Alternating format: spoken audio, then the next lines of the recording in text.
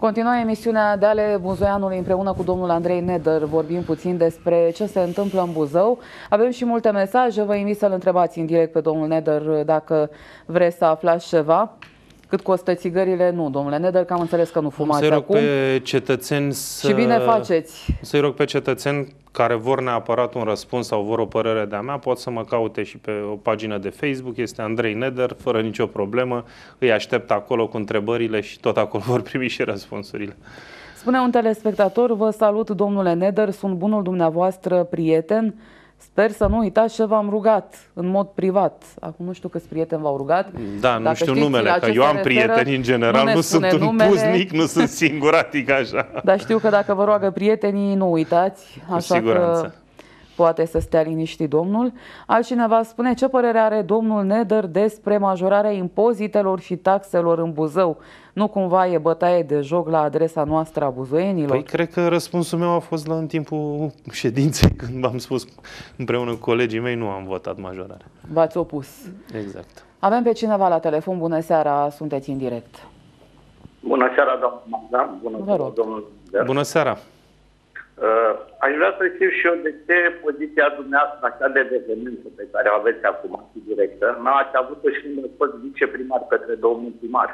Când dânsul a făcut atâtea hotărâri și atunci nimeni nu se opunea. Deci dumneavoastră erați în funcția pe care o aveați și niciodată nu ați făcut ceva să aduceți la cunoștință domnului primar și domnule, nu e bună situația asta, nu ați făcut un studiu, haideți să mai judecăm. Știți, când trecem în opoziție, toți ne pricepem. La Domnul criticat. Neder...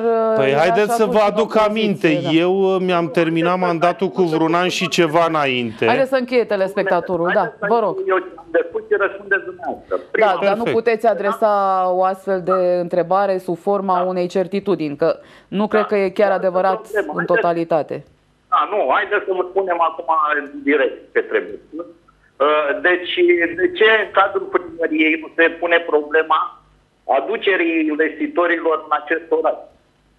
De ce nu se pune de, și de către opoziție și de către cei la putere să căutăm să ridicăm Buzăul la un uh, nivel mai mare de angajați? Fiindcă noi suntem în topul orașelor cu cel mai mare șomaj. Județul are șomajul, Județul, mare, orașul orașul nu nu. Județul. Bun. Județul, una. În altă ordine de idei, domnul viceprimar a fost și, eh, era în sub, deci avea, avea în subordine dânsul și poliția locală. Știe foarte bine la momentul ăla câte probleme au fost cu polițiștii locali, în principal serviciu pază. De Da. ce în momentele când trebuia atras atenția domnului primar că acest serviciu era legal, dânsul susținea tot timpul, domnule, e ilegal. Mă întreb și eu ce, ce argumente avea atunci domnul viceprimar și sunt sigur că acum are argumente corecte și legale. Sunt Nu, am sigur să vă am- spun, am să vă răspund exact cum spuneam și atunci. Haideți să terminăm și după Corect. aceea răspundeți. Corect. Și în altă, vi se pare corect că la momentul ăsta, serviciul ăsta pază, care se spunea că ilegal, mi s-a redus programul de lucru în fiecare lună cu patru zile și primăria și alți salariați din cadrul acestei instituții își au salariile întregi, cum s-a, extras, cum s-a putut extrage decât serviciul ăsta pază din context și mi s-a redus programul de lucru. Dacă puteți să-mi spuneți ca acum virgulă, ca virgulă conciliar. Bun, atât, da? Da. Îl las pe domnul Neder să vă răspundă. Seară bună. Da, cred În că primul supărarea rând, cea mai exact mare ce e am cu spus și poliția atunci locală. cu poliția locală, spun și acum. Există în legislația României faptul că trebuie, logic și normal, este un polițist la mia de locuitori. Orașul municipiului Buzău, orașul Buzău are, 1300, are 130 de uh, mii de locuitori. Și de aici a apărut toată această divergență de 130 de polițiști uh, în municipiul Buzău. La vremea respectivă știți foarte bine că erau aproape 500. Pe de altă parte știți iar foarte bine că existau într-adevăr 140 și ceva, 150 care erau uh, funcționari publici în cadrul serviciului poliției locale, iar restul erau personal contractual. De aici a fost. Asta o susțin și acum și mi se pare normal. Deci este legal sau ilegal, cum vrea domnul, că dânsul a spus că uh, ce spuneam că e ilegal așa, este legal ca, ca municipiul Buzău să țină 130 de polițiști locali funcționari publici. Asta am spus-o și atunci și acum. Ce este peste, asta depinde de primărie, depinde de fiecare. Există municipii, există bă, municipii reședințe, există bă, primării de sector care, într-adevăr, se încadrează în acest număr. Da? Și, într-adevăr, pe lângă această chestie care o au, acel număr sunt polițiști local strict. Dar Poliția Locală a municipiului Buzău are și serviciu de pază și ordine, are și serviciu rutier, are și serviciu de... cum îi spunem? Mediu, ce vreți să spun? Și mediu da. mai aveau, și inspecția în construcții și nu știu ce. Departamente care în marea majoritate a primăriei nu țin de poliția locală. Sunt alte afiliați. Și de asta la Buzău sunt foarte mulți și băgați toți în cadrul poliției și de asta în alte primării sunt, e poliția locală și vorba aia restul lumii, cum se spune, ca să spunem așa. Deci n-am subținut niciodată mai mult de atâta și ceea ce am spus atunci spun și acum. Vis-a-vis de poziție luată în fața domnului primar. Haideți, doamne, chiar n-am luat poziție în fața domnului primar. Eu nu știu ce știți poziție foarte... ați luat, dar știu că veneați la emisiuni și mai criticați și de păi știți, pe lângă, avem mărturie locală. emisiunile, una exact, la mână, exact. doi la mână. Știți foarte bine în câte emisiuni și în câte uh, conferințe de presă Tocmai domnul, de asta vă domnul, domnul primar atât de Domnul mult, primar a spus că domnul Neder nu votează cu, cu dânsul și că sunt, de, sunt în altă exact. parte. Ca să nu spun ca... Uh, Ultima faptă care am făcut-o, v-am spus, eu nu mi-am terminat mandatul și mi-am dat demisia și din Consiliul Local și din primărie cu mai bine de un an înainte de a-mi termina mandatul. Deci dacă nici eu n-am avut poziție, nu știu care da, a mai avut prin Consiliul Local. S-a uitat da. da, nu știu nici eu la ce s-a uitat. Păi asta spun. Și eu știu foarte bine că am și criticat și când eram primar și cu atât mai mult, bineînțeles, când eram viceprimar și cu atât. Pe de altă parte, mai vreau să-i dau o explicație domnului uh, care a sunat mai devreme.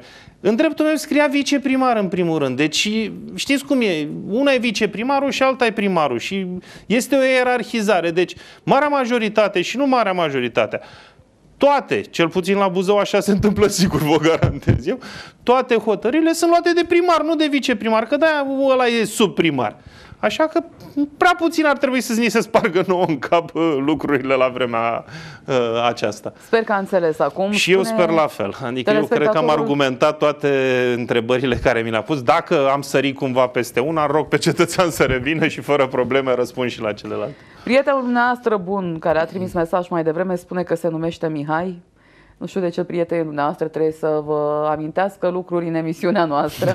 Da. da poate nu uitați, uh, cred că nu uitați okay. dacă ați uh, vorbit. Cred că puteți vorbi și într-un alt mediu, nu aici. Exact, da.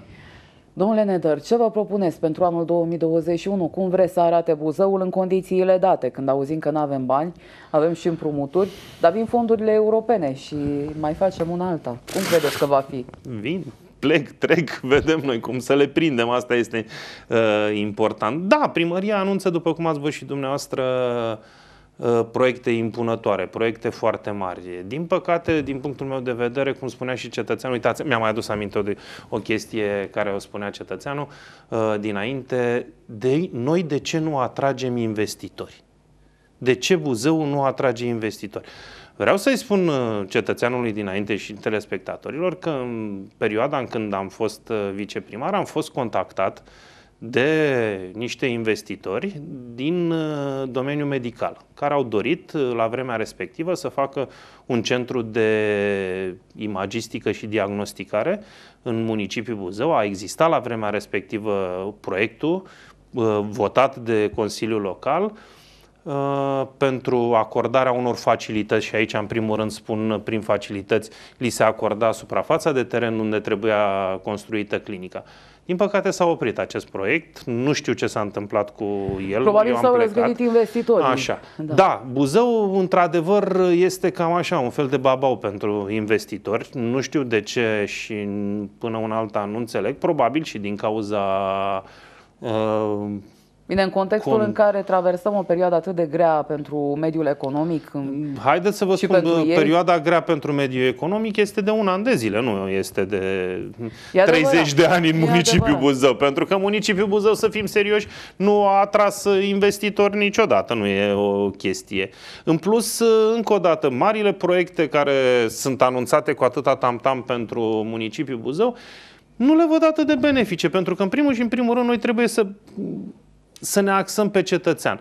Nu sunt în continuare, nu sunt uh, locuri noi de muncă asigurate de primărie, nu văd niciun proiect care să aducă pentru cetățenii din municipiul Buzău un loc. Din contră, vedem, zilele astea cei de la Urbi sunt marea majoritate trimiși în șomaj tehnic. Deci noi în loc să facem, cei de la RAM au plecat nu știu câți acasă anul trecut, cei de la nu știu ce departamente tot au plecat Vă acasă. întrerup un pic, așteaptă cineva de mult la telefon Da, și apoi vă rog. continuăm.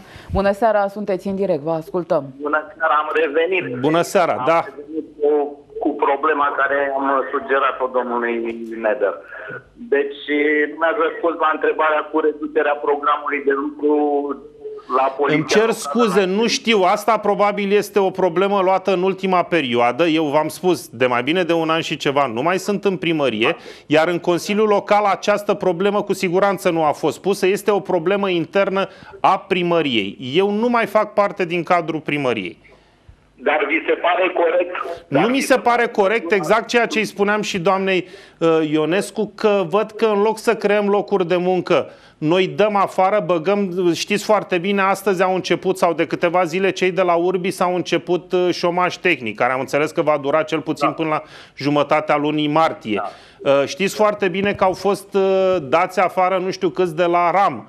Uh, Probabil că acum cu acest buget de austeritate cu care se plânge domnul primar vor veni concedierii și în alte instituții ale primăriei.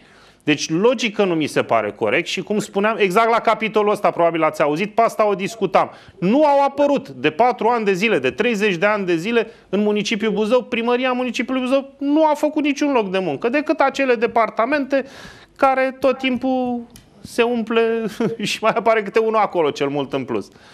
Și știți foarte bine cum apar, ca să nu mai dezvoltăm și acest subiect, cine le ocupă și ce hram poartă fiecare. Mai aveți ceva de adăugat? Vă rog? Vă rog, mai Da, avem două da. minute din emisiune, deci pe Aș scurt. vrea să mai adaug atât. Uh, Domnul Neder Vă rog. trebuie să înțeleagă că el, uh, deci procentul de un uh, polițist la mia de locuitori nu se referă la personalul contractual. Am și spus, o, un polițist la mie de locuitori este funcționar public. Am spus în asta. momentul acela când erați viceprimar, spuneați că sunt ilegal angajați. Deci ei nu erau ilegal angajați, erau legal angajați, să știți. Corect. E corect. Deci Da. nu se referă de la, decât la funcționarii publici. Exact, am și spus, am și A spus specificat. domnul Neder, dacă ați fost atent. Ar putea să fie angajat și 500 dacă, pri, dacă organigrama primăriei permite acest lucru. Exact asta a spus domnul Exact, Neder asta mai am și devreme. spus Da. și eu. Și am și explicat pe departamente, fiecare în parte. Deci trebuie să ne mai uităm și pe legi când vorbim, domnul Neder. știți Am cum? explicat exact acest lucru și am explicat pe fiecare departament din cadrul poliției în parte. Cum se împarte la Buzău și cum este la alte pă, uh, primării. Bun. Vă mulțumesc. Și eu vă mulțumesc Seară foarte bună mult. și dumneavoastră. Da, problemele continuă, din păcate, de ani de zile Din la păcate poliția locală. continuă Iată, și oamenii se sunt extinde. supărați Asta este... Pe bună dreptate. Da, da. corect. O să mai vorbim și în alte emisiuni, domnule Neder, despre Cu mare ce plăcere probleme de au fiecare buzoienii dată. și ce soluții vedeți dumneavoastră. Vă mulțumesc mult pentru prezență. Aș vrea să facem o dată o emisiune cu ce uh, nu probleme au. ce- De ce Ce sunt bucurii au, mulțumiți? nu? Ce- De ce Da. sunt mulțumiți cetățenii din uh, municipiul Buzău?